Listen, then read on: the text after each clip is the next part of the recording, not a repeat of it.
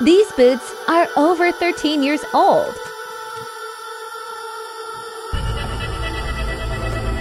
Did you have a pair?